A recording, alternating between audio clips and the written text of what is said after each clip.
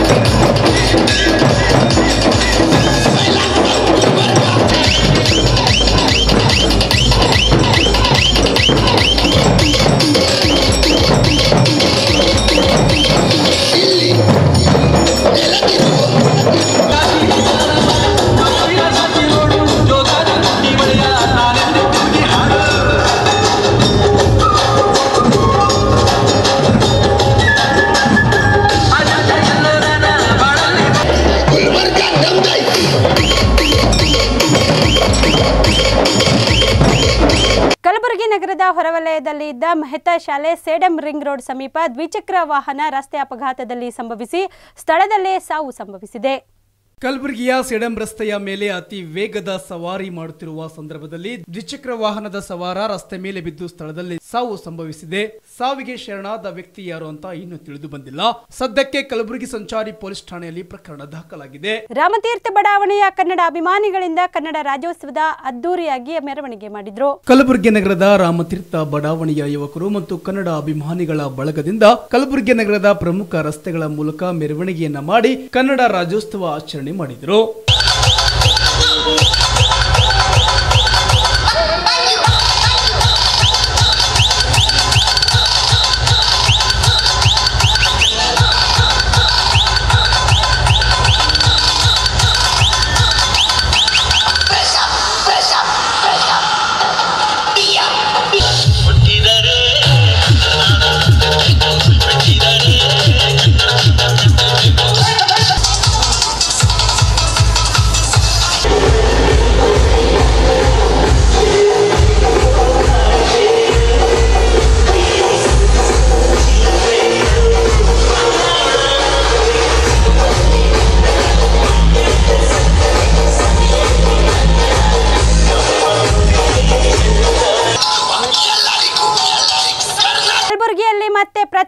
ರಾಜ್ಯ ಕೂಗು ಕಲ್ಯಾಣ ಕರ್ನಾಟಕ ಪ್ರತ್ಯೇಕ ಧ್ವಜಾರೋಹಣ ಮಾಡಲು ಪ್ರಯತ್ನಿಸಿದ ಎಂಎಸ್ ಪಾಟೀಲ್ ನರಬೋಳ್ ಅವರಿಗೆ ಪೊಲೀಸರು ಬಂಧಿಸಿದ್ದಾರೆ. ಸತತವಾಗಿ ಕಲ್ಯಾಣ ಕರ್ನಾಟಕದ ಭಾಗದ ಮೇಲೆ ರಾಜ್ಯ ಸರ್ಕಾರ ನಿರ್ಲಕ್ಷ್ಯ ತೋರಿಸುತ್ತಿದ್ದಾರೆ. ಅಭಿವೃದ್ಧಿಯಲ್ಲಿ ಮತ್ತು ಸಚಿವ ಸ್ಥಾನದಲ್ಲಿ ಕಲ್ಯಾಣ ಕರ್ನಾಟಕಕ್ಕೆ ಅನ್ಯಾಯವಾಗುತ್ತಿದೆ. ಎಲ್ಲಾ ಪ್ರಶ್ನೆಗಳಿಗೂ ಒಂದೇ ಉತ್ತರ, ನಮ್ಮ ಭಾಗಕ್ಕೆ ಪ್ರತ್ಯೇಕ ರಾಜ್ಯ ನೀಡಿ ಎಂದು ಎಂಎಸ್ ಪಾಟೀಲ್ ನರಿಬೋಳ್ ಆಕ್ರೋಶ ವ್ಯಕ್ತಪಡಿಸಿ ಮಾತನಾಡಿದರು. ಕಲ್ಯಾಣ ಕರ್ನಾಟಕ ಪ್ರತ್ಯೇಕ ರಾಜ್ಯ ಧ್ವಜ ಹಾರಿಸಲು ಮುಂದಾದ ಎಂಎಸ್ ಪಾಟೀಲ್ ನರಿಬೋಳ್ ಮತ್ತು ಅವರ ಸಂಗಡಿಗರನ್ನ ಪೊಲೀಸರು ಬಂಧಿಸಿದ್ದಾರೆ. ಕರ್ನಾಟಕದ ಯಾವುದೇ ಒಬ್ಬ ದೊಡ್ಡ ಸಾಹಿತಿ ಇದ್ರು ಕೂಡ, ಅವನಿಗೆ ಯೋಗ್ಯತೆ ಇದ್ರು ಕೂಡ ನೂರಾರು ಪುಸ್ತಕ ಬರೆದ್ರು ಅವನು ಕಲಬುರಗಿ ಸಾಹಿತಿ, ಬೀದರ್ ಸಾಹಿತಿ ಆಗ್ತಾರೆ. ಆದ್ರೆ ಬೆಂಗಳೂರಾಗ ಕುಂತು ಯಾರೋ ಒಂದು ಪುಸ್ತಕ ಬರೆದ್ರು, ಅವ್ರು ರಾಜ್ಯ ಮಟ್ಟ ಸಾಹಿತ್ಯ ಆಗ್ತಾರೆ. ರಾಜ್ಯೋತ್ಸವ ಪ್ರಶಸ್ತಿ ನೂರಾರು ತಗೋತಾರೆ ನೂರಾರು ಪ್ರಶಸ್ತಿ.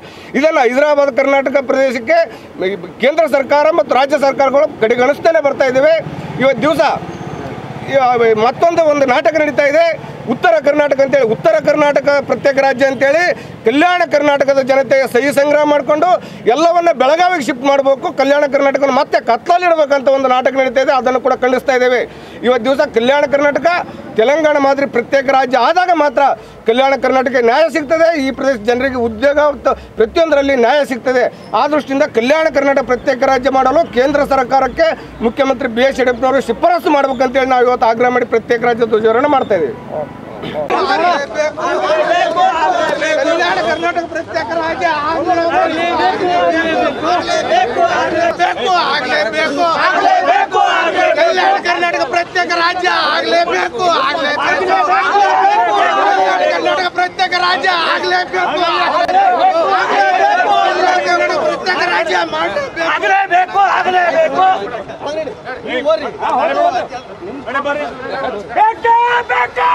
ಕನ್ನಡ ರಾಜ್ಯೋತ್ಸವದ ಅಂಗವಾಗಿ ಕಲಬುರಗಿ ನಗರದ ಮಿಲನ್ ಚೌಕ್, ಗಾಜಿಪುರ್ ಬಡಾವಣೆಯಲ್ಲಿರುವ ನ್ಯೂ ರಾಜು ಹೇರ್ ಸೆಲೂನ್ ಅಂಗಡಿಯಲ್ಲಿ ಸವಿತಾ ಸಮಾಜದ ಕಲಾವಿದರಾದ ರಾಜಶೇಖರ್ ವಿ. ಚುಂಚೋಳಿ ಇವರ ಕೈಚಳಕದಲ್ಲಿ ಭೀಮಾಶಂಕರ್ ಎಸ್. ಹಡಪದ್ ಇವರ ಕೇಶದಲ್ಲಿ ಕನ್ನಡಾಂಬೆ ಚಿತ್ರವು ಮೂಡಿಬಂತು. ಹೌದು, ಕಲಬುರಗಿಯ ಗಾಜಿಪುರ್ ಬಡಾವಣೆಯಲ್ಲಿರುವ ನ್ಯೂ ರಾಜು ಹೇರ್ ಸಲೂನ್ ಮಾಲೀಕರಾದ ಸವಿತಾ ಸಮಾಜದ ಕಲಾವಿದರಾದ ರಾಜಶೇಖರ್ ವಿ. ಚುಂಚೋಳಿ ಇವರ ಕೈಚಳಕದಲ್ಲಿ ಕನ್ನಡಾಂಬೆಯ ಚಿತ್ರವು ಮೂಡಿಬಂದಿರುವುದು. ಇದರ ಬಗ್ಗೆ ಮಾತನಾಡಿದ ಅವರು, ಪ್ರತಿ ವರ್ಷದಂತೆ ಈ ವರ್ಷವೂ ಕೂಡ ಕೇಶ ವಿನ್ಯಾಸದಲ್ಲಿ ನಾನು ಚಿತ್ರಗಳನ್ನ ಬಿಡಿಸುತ್ತೇನೆ. ಹೋದ ವರ್ಷದ ರಾಜ್ಯೋತ್ಸವದಲ್ಲಿ ಭೀಮಶಂಕರ್ ಹಡಪದ ತಲೆಯಲ್ಲಿ ಕರ್ನಾಟಕ ನಕಾಶೆ ಮತ್ತು ಕನ್ನಡ ಧ್ವಜವನ್ನ ಬಿಡಿಸಿದೆ. ಈ ವರ್ಷ ಕೂಡ ಭೀಮಶಂಕರನ ತಲೆಯಲ್ಲಿ ಕನ್ನಡಾಂಬೆಯ ಚಿತ್ರವನ್ನ ಬಿಡಿಸಿದ್ದೇನೆ. Karnataka hair tattoo champion belt ಕಾರ್ಯಕ್ರಮದಲ್ಲಿ ಭಾಗವಹಿಸಿದ್ದೇನೆ ಎಂದು ಹೇಳಿದರು. ಪ್ರತಿ ವರ್ಷದಂತೆ ಈ ವರ್ಷವೂ ಕೂಡ ಅವರು ತಮ್ಮ ಕೈ ಚಳಕದಲ್ಲಿ ಕನ್ನಡಾಂಬೆಯ ಚಿತ್ರವನ್ನ ಬಿಡಿಸಿರುವುದು ತುಂಬಾ ಸಂತೋಷದ ವಿಷಯವಾಗಿದೆ. ಇಂಥವರಿಗೆ ಸರ್ಕಾರದಿಂದ ಪ್ರೋತ್ಸಾಹ ಸಿಗಬೇಕು ಎಂದು ಬಸವರಾಜ್ ಕೆರ್ಮಗಿ ಹೇಳಿದರು. ತಲೆಯ ಮೇಲೆ ಕನ್ನಡಾಂಬೆಯ ಚಿತ್ರವನ್ನ ಬಿಡಿಸಿಕೊಂಡ ಭೀಮಶಂಕರ್ ಎಸ್ ಅಡಪದ್ ಹೀರೋಗಳ ಟ್ಯಾಟೋ ಹಾಕಿಕೊಳ್ಳುತ್ತಾರೆ. ಆದ್ರೆ ನಾವು ಕರ್ನಾಟಕದಲ್ಲಿ ಇದು ನಮ್ಮ ಕನ್ನಡಾಂಬೆಯ ಟ್ಯಾಟೋ ಹಾಕಿಕೊಂಡು ಕನ್ನಡ ಅಭಿಮಾನಿ ಎಂದು ತೋರಿಸಿಕೊಳ್ಳುವುದಕ್ಕೆ ಸಂತೋಷದ ವಿಷಯ ಎಂದು ಹೇಳಿದರು. ಈ ಸಂದರ್ಭದಲ್ಲಿ Venkatesh ಎಕಮೈಕರ್ Bhimaiah, Guttedar, Krishna, H, Basavaraj, Kermagi, Shridhar, diamond bus Sai Mandir ಇನ್ನು ಇತರರು ಇದ್ದರು. ನಮಸ್ಕಾರ, ನನ್ನ ಹೆಸರು ಭೀಮಾಶಂಕರ್ ಎಸ್ ಅಡಪದ್ ಅಂತ. ಎರಡು ವರ್ಷದಿಂದ ತಲೆಯಲ್ಲಿ ಹೇರ್ ಟ್ಯಾಟೋವನ್ನು ಬಿಡಿಸ್ತಾ, ಬಿಡಿಸ್ಕೋತಾ ಇದ್ದೀನಿ. ಬಿಡಿಸಿದವರು ರಾಜಶೇಖರ್ ವಿ. ಚಿಂಚೋಳಿ ಅವರು ಈ ಸಲ ಕನ್ನಡಾಂಬೆ ಟ್ಯಾಟೋ ಬಿಡಿಸಿದ್ದಾರೆ. ಹೋದ ಕರ್ನಾಟಕ, ನಕಾಶೆ ಮತ್ತು ಬಾವುಟ. ಖುಷಿ ಆಗ್ತಾಯಿದೆ ಕೆಲವೊಬ್ಬರು ಬೇರೆ ಬೇರೆ ಥರ ಹೀರೋಗಳದು ಅದು ಫಿಲಿಮ್ ಹೆಸರು, ಅದು ಎಲ್ಲ ಹಾಕ್ತಾ ಇರಬೇಕಾದ್ರೆ ಈ ಕರ್ನಾಟಕದಾಗ ಇದ್ದ ಕನ್ನಡ ಅಭಿಮಾನಿಗಳು ಸ್ವಲ್ಪ ಅದರ ಸಲಿಂದ ಡಿಫ್ರೆಂಟಾಗಿ ನಾವು ಇದು ಕರ್ನಾಟಕದ ಹಾಕ್ತಾಯಿದ್ದೀನಿ ನಮಸ್ಕಾರ. ನನ್ನ ಹೆಸರು ರಾಜಶೇಖರ್ ವಿ ಚಿಂಚೋಳಿ, ಕಲಬುರಗಿ ಮಿಲನ್ ಚೌಕ್ನಿಂದ. ನಾನು ಪ್ರತಿ ವರ್ಷ ಪ್ರತಿಯೊಂದು ಟ್ಯಾಟುಗಳಲ್ಲಿ, ಸ್ಪರ್ಧೆಯಲ್ಲಿ ನಾನು ಆಲ್ರೆಡಿ ಬೆಂಗಳೂರು, ರಾಯಚೂರು, ಕುಶಾಲನಗರ, ಇನ್ನು ವಿವಿಧೆಡೆ ಕಡೆ ನಾನು ನನ್ನ ಸ್ಪರ್ಧೆಯನ್ನು ಮಾಡ್ಕೊತ ಬಂದಿದ್ದೇನೆ. ಈ ವರ್ಷ ವಿಶೇಷವೇನೆಂದರೆ ಭೀಮಾಶಂಕರ್ ಎಸ್. ಹಡ್ಪದವರ ತಲೆಯಲ್ಲಿ ನಾನು ಕನ್ನಡಾಂಬೆಯ ಭಾವಚಿತ್ರವನ್ನು ಹೇರಿಟಾಟು ಮಾಡುವ ಮುಖಾಂತರ ಅತಿ ವಿಜೃಂಭಣೆ ಆಚರಣೆ ಮಾಡ್ತಾ ಇದ್ದೀವಿ. ನಮ್ಮ ಸಂಗಡಿಗರೆಲ್ಲರೂ ಕೂಡಿ ಎಸ್ ಎಸ್ ಟಿ ವಿಯವರ ಸಹಕಾರದಿಂದ ನನಗೆ ಖುಷಿ ಆಗ್ತಾ ಇದೆ. ಅವರಿಗೆ ತುಂಬ ಹೃದಯದ ಧನ್ಯವಾದಗಳು. ಹಾಗೂ ಕರ್ನಾಟಕ ರಾಜ್ಯೋತ್ಸವದ ಸರ್ವರಿಗೂ ಬ್ರಹ್ಮಶ್ರೀ ನಾರಾಯಣ ಗುರುಗಳ ನೂರ ಅರವತ್ತೈದನೇ ಜಯಂತ್ಯೋತ್ಸವದ ಪ್ರಯುಕ್ತ ಈಡಿಗ ವಿದ್ಯಾರ್ಥಿಗಳಿಗೆ ಪ್ರತಿಭಾ ಪುರಸ್ಕಾರ, ನೂತನ ಸರ್ಕಾರ ಸೇವೆಗೆ ಸೇರಿದ ಹಾಗೂ ನಿವೃತ್ತ ನೌಕರರಿಗೆ ಸನ್ಮಾನ ಸಮಾರಂಭವನ್ನು ಇದೇ ತಿಂಗಳ ಮೂರರಂದು ಬೆಳಗ್ಗೆ ಹನ್ನೊಂದು ಗಂಟೆಗೆ ವಿಶ್ವೇಶ್ವರಯ್ಯ ಭವನದಲ್ಲಿ ಹಮ್ಮಿಕೊಳ್ಳಲಾಗಿದೆ ಎಂದು ಅಧ್ಯಕ್ಷ ವಿಠಲ್ ಹೆಚ್ ಭಾವ್ಗಿ ತಿಳಿಸಿದರು. ಕಲಬುರಗಿಯ ಪತ್ರಿಕಾ ಭವನದಲ್ಲಿ ಹಮ್ಮಿಕೊಂಡಿದ್ದ ಸುದ್ದಿಗೋಷ್ಠಿಯನ್ನು ಉದ್ದೇಶಿಸಿ ಮಾತನಾಡಿದ ಅವರು, ಕರ್ನಾಟಕ ರಾಜ್ಯ ಆರ್ಯ ಈಡಿಗ ನೌಕರರ ಕ್ಷೇಮಾಭಿವೃದ್ಧಿ ಸಂಘ ವತಿಯಿಂದ ಕಲಬುರಗಿಯಲ್ಲಿ ಬ್ರಹ್ಮಶ್ರೀ ನಾರಾಯಣ ಗುರುಗಳ ನೂರ ಅರವತ್ತೈದನೇ ಜಯಂತ್ಯೋತ್ಸವದ ಪ್ರಯುಕ್ತ ಎರಡ್ ಸಾವಿರದ ಹತ್ತೊಂಬತ್ತನೇ ಸಾಲಿನಲ್ಲಿ ಅತಿ ಹೆಚ್ಚು ಅಂಕ ಪಡೆದ ಎಸ್ಎಸ್ಎಲ್ಸಿ ಮತ್ತು ಪಿಯುಸಿ ಹಾಗೂ ಪದವಿ ಪ್ರತಿಭಾವಂತ ಈಡಿಗ ವಿದ್ಯಾರ್ಥಿಗಳಿಗೆ ಪಾರಿತೋಷಿಕ ನೀಡಿ ಸನ್ಮಾನಿಸಲಾಗುವುದು. ಹಾಗೂ ಈಡಿಗ ನಿವೃತ್ತ ನೌಕರರಿಗೆ ಹೊಸದಾಗಿ ಸರ್ಕಾರಿ ಸೇವೆಗೆ ಸೇರಿದ ನೌಕರರಿಗೆ ಮತ್ತು ವಿವಿಧ ಇಲಾಖೆಯಲ್ಲಿ ಉತ್ತಮ ಉತ್ತಮ ಸೇವೆ ಸಲ್ಲಿಸಿರುವ ಈಡಿಗ ನೌಕರರಿಗೆ ಸೇವಾ ರತ್ನ ಪ್ರಶಸ್ತಿ ನೀಡಿ ಸನ್ಮಾನಿಸಲಾಗುವುದು. ಅದೇ ರೀತಿಯಾಗಿ ವಿಶೇಷ ಸಾಧನೆ ಮಾಡಿದ ಕ್ರೀಡೆ ಮತ್ತು ಕಲೆಯಲ್ಲಿನ ಸಾಧಕರಿಗೆ ಸನ್ಮಾನಿಸಲಾಗುವುದು ಎಂದು ಹೇಳಿದರು. ಈ ಸಂದರ್ಭದಲ್ಲಿ ರಾಜ್ಕುಮಾರ್ ಗುತ್ತೇದಾರ್, ಶಿವಯ್ಯ ಗುತ್ತೇದಾರ್, ಚಂದ್ರಕಾಂತ್ ಗುತ್ತೇದಾರ್ ಕಜ್ಜಾಂಟಿ ಮುರ್ಗಯ್ಯ ಕಲಾಲ, ನರಸಯ್ಯ ಗುತ್ತೇದಾರ್, ಶಶಿಧರ್ ಗುತ್ತೇದಾರ್ ಇತರರು ಇದ್ದರು. ಹಾಗೂ ಪ್ರತಿಭಾ ಇದು ಪ್ರತಿಭಾವಂತರಿಗೆ ಪ್ರತಿಭಾ ಪುರಸ್ಕಾರ ಹಾಗೂ ಹೊಸದಾಗಿ ಸೇವೆಗೆ ಸೇರಿ, ನಮ್ಮ ಸಮಾಜದ ಜನರು ಹೊಸದಾಗಿ ಸೇವೆಗೆ, ಸರ್ಕಾರಿ ಸೇವೆಗೆ ಸೇರಿ, ಸೇರಿದವರಿಗೆ ಸನ್ಮಾನ ಹಾಗೂ ನಿವೃತ್ತಿ ಹೊಂದಿದವರಿಗೆ ನಿವೃತ್ತಿ ಸನ್ಮಾನ ಹಾಗೂ ವಿಶೇಷ ಸಾಧಕರಿಗೆ ವಿಶೇಷ ಸನ್ಮಾನ ಅಂತ ನಾವು ಹಮ್ಮಿಕೊಂಡಿದ್ವಿ ಅದಲ್ಲದೆ ನಮ್ಮ ಸಮಾಜದಲ್ಲಿ ಅಥವಾ ನಮ್ಮ ಸಂಘದಲ್ಲಿ ಸೇವೆ ಸುಮಾರು ಎರಡು ಸಾವಿರದ ಹನ್ನೆರಡರಲ್ಲಿ ನಮ್ಮ ಸಂಘವನ್ನು ರಿಜಿಸ್ಟ್ರೇಷನ್ ಆಗಿ, ಅದರಲ್ಲಿ ಅವಿರತವಾಗಿ ಸತತವಾಗಿ ನಮಗೆ ತಮ್ಮ ಮನ ಧನದಿಂದ ನಮ್ಮ ಸಂಘಕ್ಕೆ ಸಹಾಯ ಮಾಡಿ ಪ್ರತಿ ಕಾರ್ಯಕ್ರಮದಲ್ಲಿ ಸಹಾಯ ಮಾಡತಕ್ಕಂಥ ನಮ್ಮ ಸಂಘದ ಸದಸ್ಯರಿಗೂ ಅಥವಾ ಸಾ- ಸಮಾಜದ ಬಂಧುವರಿಗೆ ಸೇವಾರತ್ನ ಪುರಸ್ಕಾರ ಸಹಿತ ನಾವು ಇದರಲ್ಲಿ ಕುಂಡಿಡಲು ನಿರ್ಧರಿಸಿ ಹಮ್ಮಿಕೊಳ್ಳಲಾಗಿದೆ ಅದರಂತೆ ಆ, ಈ ಸಮಾಜ, ಈ ಸಮಾರಂಭಕ್ಕೆ ನಮ್ಮ ಸಮಾಜದ ಗಣ್ಯರಾದ ಅಥವಾ ನಮ್ಮ ಸಮಾಜದ ಗುರುಗಳಾದ ಶ್ರೀ ರೇಣುಕಾನಂದ ಸ್ವಾಮೀಜಿಗಳ ಸಾನ್ನಿಧ್ಯದಲ್ಲಿ ಮತ್ತು ಉದ್ಘಾಟಕರಾಗಿ ನಮ್ಮ ಮಾಲಿಕೆಯ ಬಿ ಗುತ್ತೇದಾರ್ ಮಾಜಿ ಸಚಿವರು, ಅವರು ಉದ್ಘಾಟನೆ ಬರ್ತಾ ಇದ್ದಾರೆ. ಅವರೊಂದಿಗೆ ಘನ ಉಪಸ್ಥಿತಿ ಯಾರು ಅಂದರೆ ಆ ಸುಭಾಷ್ ಸಾರ್ ಗುತ್ತೇದಾರ್ ಶಾಸಕರು ಅಳಂದ ಕ್ಷೇತ್ರ ಅದಲ್ಲದೆ Jagadev R Gutte Jagadev B T Guttedar T Guttedar Kalagi Kong, ಜಿಲ್ಲಾ ಕಾಂಗ್ರೆಸ್ ಅಧ್ಯಕ್ಷರು ಅವರು ಭಾಗವಹಿಸಲಿದ್ದಾರೆ. ಹಾಗೂ ರಾಜೇಶ್ ಜೆ ಗುತ್ತೇದಾರ್ ಕಾಳಗಿ ಇವರು ನಮ್ಮ ಸಮಾಜ ಅಧ್ಯಕ್ಷರಾಗಿದ್ದು. ಅವರು ಸಹ ಇದರಲ್ಲಿ ಭಾಗವಾಗಿರ್ತಾರೆ ಅದ, ಅದರಂತೆ ಮಾತಾ ಮಾಣಿಕೇಶ್ವರ್, ನಮ್ಮ ಸಮಾಜದವರಾದಂಥ ಮಾತಾ ಮಾಣಿಕೇಶ್ವರ್ ಭಾಗದಲ್ಲಿ ಇರ್ತಕ್ಕಂಥವ್ರು ಅವರು ಸಮ ಉಪಸ್ಥಿತಿಯಲ್ಲಿ ಇರು- ಇರುತ್ತಾರೆ ಅದ ಕೆ ಎಸ್ ಅಧಿಕಾರಿಯಾದ ಜಸ್ಕಾಂ ಪ್ರಧಾನ ವ್ಯವಸ್ಥಾಪಕರಾದಂಥ Premala S, K M, sorry, K L, K M ಅವರು ಅವರು ಭಾಗವಹಿಸ್ತಾ ಇದ್ದಾರೆ. ಅಶೋಕ್ ಆರ್ ಕಲಾಲ್ ರಾಜ್ಯ ಸರ್ಕಾರ ಸಂಪೂರ್ಣವಾಗಿ ನೂರ ಎಪ್ಪತ್ತೈದು ಪಾಯಿಂಟ್ ಐವತ್ತೇಳು ಕೋಟಿ ರೂಪಾಯಿ ವೆಚ್ಚದಲ್ಲಿ ನಿರ್ಮಿಸಲಾಗಿರುವ ಕಲಬುರಗಿ ವಿಮಾನ ನಿಲ್ದಾಣದಿಂದ ಏರ್ ಅಥಾರಿಟಿ ಆಫ್ ಇಂಡಿಯಾ ಸಂಸ್ಥೆಯು ಸಾರ್ವಜನಿಕ ವಿಮಾನ ಹಾರಾಟ ಕೈಗೊಳ್ಳಲು ಅಕ್ಟೋಬರ್ ಮೂವತ್ತೊಂದರಂದು direct general of civil aviation of aerodrome licence ನೀಡಿದ್ದಾರೆ ಎಂದು ಜಿಲ್ಲಾಧಿಕಾರಿ ಶರತ್ ಬಿ ತಿಳಿಸಿದ್ದಾರೆ.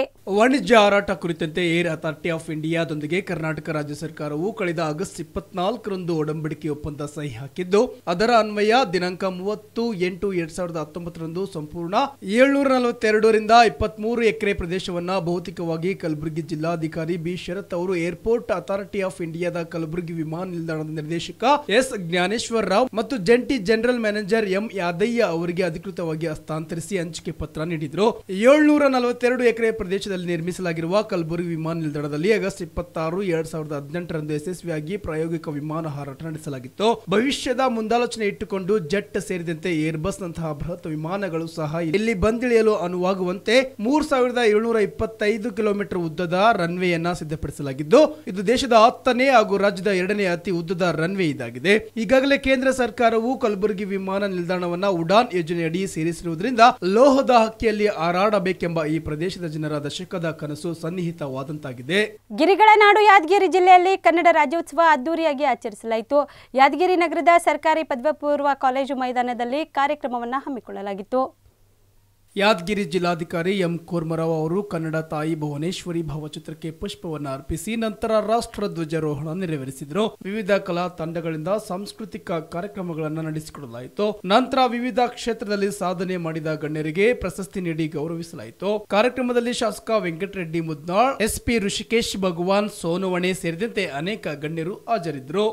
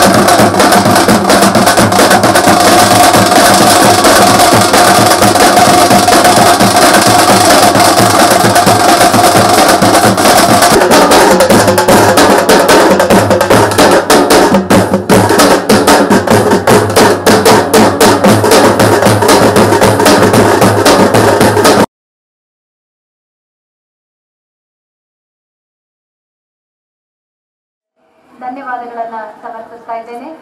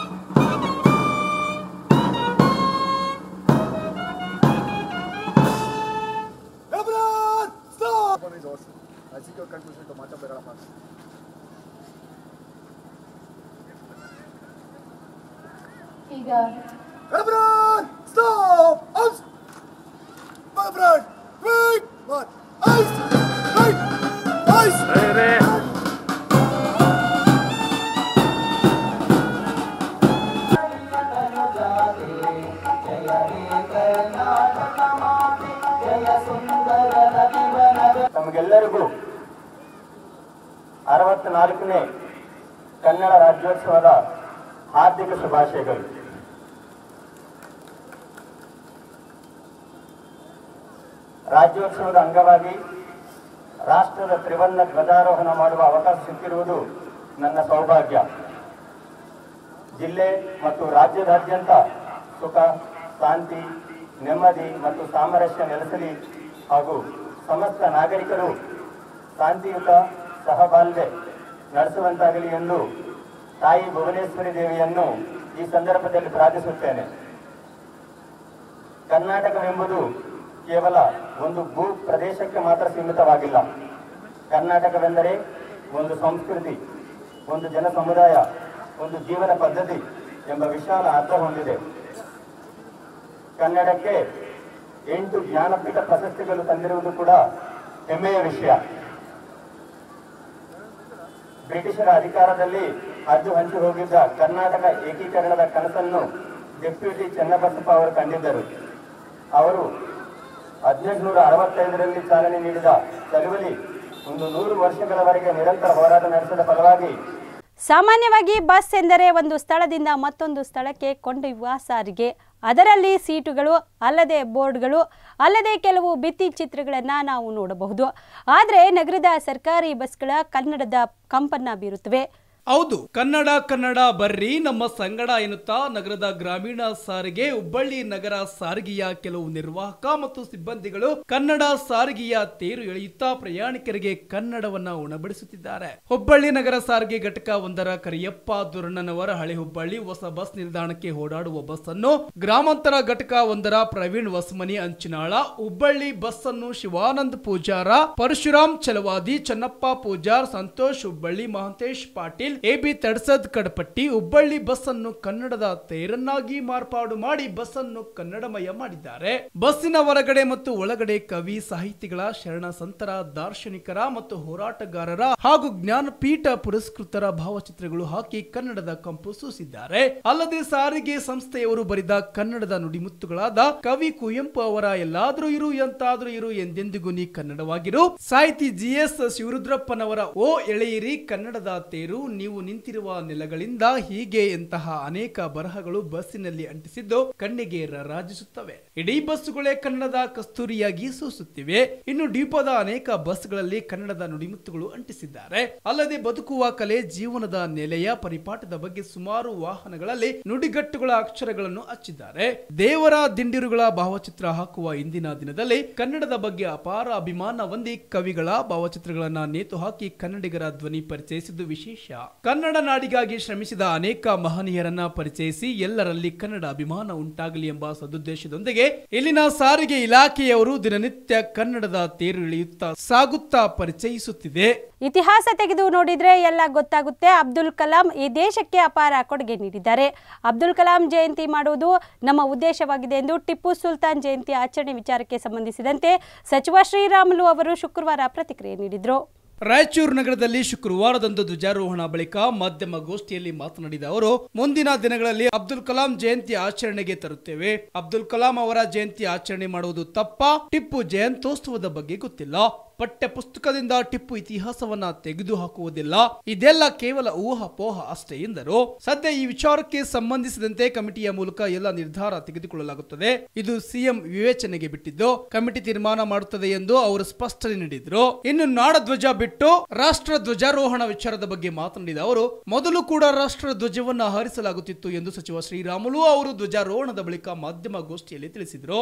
ರಾಜ್ಯದೆಲ್ಲೆಡೆ ಇಂದು ಅರವತ್ನಾಲ್ಕನೇ ಕನ್ನಡ ರಾಜ್ಯೋತ್ಸವದ ಸಂಭ್ರಮ ನಡೆಯುತ್ತಿದ್ದು ನಾಡಿನ ಜನತೆಗೆ ಪ್ರಧಾನಿ ನರೇಂದ್ರ ಮೋದಿ ಕನ್ನಡದಲ್ಲೇ ಶುಭ ಕೋರಿದ್ದಾರೆ. ಕನ್ನಡ ರಾಜ್ಯೋತ್ಸವಕ್ಕೆ ಶುಭ ಕೋರಿ ಟ್ವೀಟ್ ಮಾಡಿರುವ ಪ್ರಧಾನಿ ನರೇಂದ್ರ ಮೋದಿಯವರು ರಾಷ್ಟ್ರದ ಬೆಳವಣಿಗೆಗೆ ಕರ್ನಾಟಕ ನೀಡಿದ ಅತ್ಯುನ್ನತ ಕೊಡುಗೆಯನ್ನ ಆಚರಣೆ ಮಾಡುವ ದಿವಸವೇ ಕರ್ನಾಟಕ ರಾಜ್ಯೋತ್ಸವ. ಕನ್ನಡಿಗರ ವಿಶಾಲ ಹೃದಯವಂತಿಕೆ ಹಾಗೂ ಕನ್ನಡ ನಾಡಿನ ಸೌಂದರ್ಯ ಹೆಸರುವಾಸಿಯಾದದ್ದು. ಬರುವ ದಿನಗಳಲ್ಲಿ ಕರ್ನಾಟಕದ ಅಭಿವೃದ್ಧಿಗೆ ಪ್ರಾರ್ಥಿಸುತ್ತೇನೆ ಎಂದು ಟ್ವೀಟ್ ಮಾಡಿದ್ದಾರೆ. ನಗರದ ಕೃಷಿ ಉತ್ಪನ್ನ ಮಾರುಕಟ್ಟೆ ಸಮಿತಿ ಕಚೇರಿ ಆವರಣದಲ್ಲಿ ಪ್ಲಾಸ್ಟಿಕ್ ನಿಷೇಧ ಮತ್ತು ಸ್ವಚ್ಛ ಭಾರತ ಅಭಿಯಾನಕ್ಕೆ ಎಪಿಎಂಸಿ ಅಧ್ಯಕ್ಷ ಗುರುಬಸಪ್ಪ ಎಸ್ ಕಿಣಿಗಿ ಅವರು ಚಾಲನೆ ನೀಡಿದರು. ಉಪಾಧ್ಯಕ್ಷ ರಾಜ್ಕುಮಾರ್ ಕೋಟೆ ಕಾರ್ಯದರ್ಶಿ M V Shailaja Chandrakant Patil Shrimant Rao Udnoor Chandrashekhar Tallalli Santosh Langar Amarnath S S Jagirdar ವಿವಿಧ ಸಂಘದ ಸದಸ್ಯರು ಹಾಗೂ ಕಚೇರಿಯ ಸಹಾಯಕ ಕಾರ್ಯದರ್ಶಿ ಅಧಿಕಾರಿ ಸಿಬ್ಬಂದಿ ವರ್ಗದವರು ಈ ಸಮಯದಲ್ಲಿ ಹಾಜರಿದ್ದರು.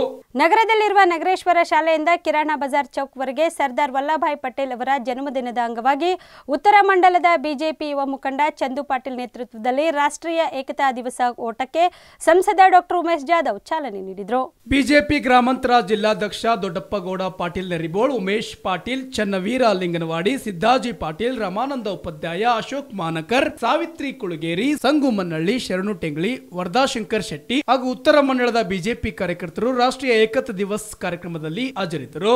ಕಲಬುರಗಿ ನಗರದ ಜಿಲ್ಲಾ ಕಾಂಗ್ರೆಸ್ ಸಮಿತಿ ಕಚೇರಿಯಲ್ಲಿ ಶ್ರೀಮತಿ ಇಂದಿರಾ ಗಾಂಧಿ ಪುಣ್ಯ ಸ್ಮರಣೆ ಹಾಗೂ ಉಕ್ಕಿನ ಮನುಷ್ಯ ಸರ್ದಾರ್ ವಲ್ಲಭಾಯ್ ಪಟೇಲ್ ಅವರ ಜನ್ಮದಿನ ಆಚರಿಸಿದರು. ಈ ಸಂದರ್ಭದಲ್ಲಿ ಜಿಲ್ಲಾಧ್ಯಕ್ಷ ಜಗದೇವ್ ಗುತ್ತೇದಾರ್ ಮಾಜಿ ಸಚಿವ ಡಾಕ್ಟರ್ ಶರಣ್ ಪ್ರಕಾಶ್ ಪಾಟೀಲ್ ಮಹಿಳಾ ಘಟಕದ ಅಧ್ಯಕ್ಷೆ ಲತಾ ರಾಠೋಡ್ ವಾಣಿಶ್ರೀ ಸಗರ್ಕರ್ ಭೀಮರಾವ್ ತೇಗಲ್ತಿಪ್ಪಿ ಮಹಂತಪ್ಪ ಸಂಗಾವಿ ಶಿವಕುಮಾರ್ ಬಾಳಿ ರವಿ ರಾಠೋಡ್ ಈರಣ್ಣ ಜಳಕಿ ಧರ್ಮರಾಜ್ ಬಿ ಹೇರೂರ್ ಶಿವಾನಂದ್ ವನಗುಂಟಿ ಇತರರು ಇದ್ದರು. ಇವಿಷ್ಟು ಈವರೆಗಿನ ಟೈಮ್ಸ್ ಆಫ್ ಉತ್ತರ ಕರ್ನಾಟಕ ನ್ಯೂಸ್